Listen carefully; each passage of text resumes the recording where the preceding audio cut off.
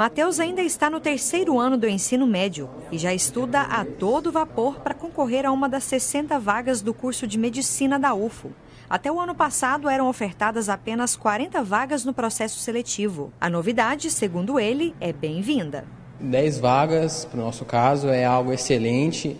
A prova não fica mais fácil, felizmente, mas com essa oportunidade a gente tem que agarrar, tem que, tem que continuar forte esse ano, para ano que vem, futuramente, numa faculdade e mais posteriormente como um bom profissional.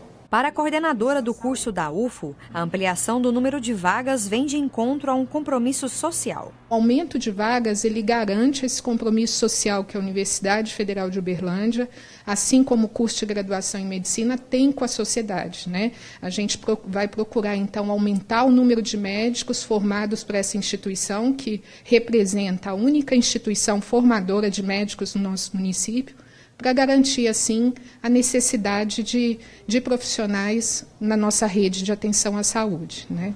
As discussões sobre a readequação tiveram início em 2013. Algumas das ações para receber o um número maior de alunos já foram adotadas. Mas, segundo o diretor da Faculdade de Medicina, alguns investimentos ainda são esperados. O aumento de número de docentes que isso já, já foi assinado pelo MEC, isso já foi liberado de forma escalonada também. E de técnicos, ainda nós não recebemos os técnicos administrativos que precisam é, estar inseridos ao curso, e as questões de laboratórios. As questões de laboratórios não estão, é, estão em fase de implementação, em fase de área física, mas ainda necessita de material para ser completado. Larissa dedica quase seis horas por dia aos estudos. Ela também sonha com uma vaga no curso de medicina.